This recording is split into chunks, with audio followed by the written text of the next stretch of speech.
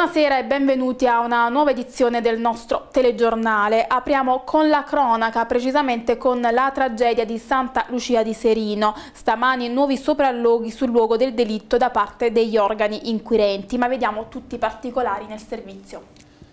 La piccola comunità di Santa Lucia di Serino è ancora sotto shock per il tragico episodio che ieri ha visto la morte di Anna Tavino e del suo compagno Alessandro Mariconda. Personale della scientifica e inquirenti sono ritornati questa mattina nel centro, alle pendici del Terminio, dove ieri pomeriggio il muratore saltuario Alessandro Mariconda ha trucidato con almeno tre colpi di pistola la sua ex compagna, prima di fare ritorno a piedi presso la propria abitazione e suicidarsi.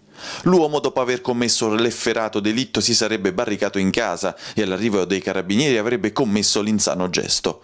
Oltre a non accettare la separazione dalla donna, datata novembre del 2011, Alessandro Mariconda probabilmente aveva cercato l'ennesimo aiuto da Anna Tavino. Cosa si siano detti i due in una precedente telefonata per adesso resta ancora un mistero. Acclarato invece è il fatto che tra i due da tempo ormai il dialogo si fosse trasformato in un costante litigio, malgrado una separazione firmata in maniera consensuale ed un divorzio già fissato per novembre del 2014. Le forze dell'ordine hanno interdetto al traffico anche oggi via Moscati per permettere agli inquirenti di effettuare gli ultimi rilievi in modo da capire l'esatta posizione dalla quale Mariconda ha esploso i proiettili mortali per la sua ex compagna. Sotto sequestro anche il fabbricato dove l'uomo risiedeva. È in gravi condizioni una 63enne investita sulla statale 90 delle Puglie a Rione Cardito ad Ariano. La donna è stata travolta da una vettura mentre attraversava la strada. L'investitore ha subito lanciato l'allarme. Sul posto sono giunti i sanitari del 118 che hanno trasportato la donna in ospedale.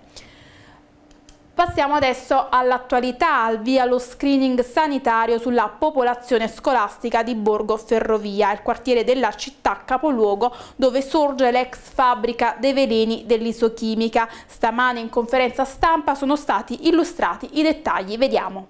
Professore Annunziata, parte lo screening a Borgo Ferrovia e si inizia dai bambini che frequentano il plesso scolastico Francesco Tedesco. Sì, eh, partirà sicuramente a giorni che oggi è soltanto l'insediamento di quello che è il gruppo, eh, chiamiamolo così, di studio, task force come, come meglio le pare, eh, che si interesserà, eh, per quanto mi riguarda, considerato che l'amministrazione pediatrica, eh, io mi interesserò della popolazione scolastica del plesso che insiste nel territorio dell'ex isochimica.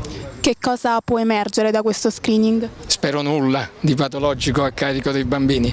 Eh, spero con, eh, e, e, dico anche con cognizione di causa, non solo lo spero, ma considerato che eh, i danni eh, da amianto ci, mettono molti, molti, molti anni per emergere, per, eh, per esprimersi, eh, si spera proprio che nel bambino non, non andremo a trovare nulla di importante.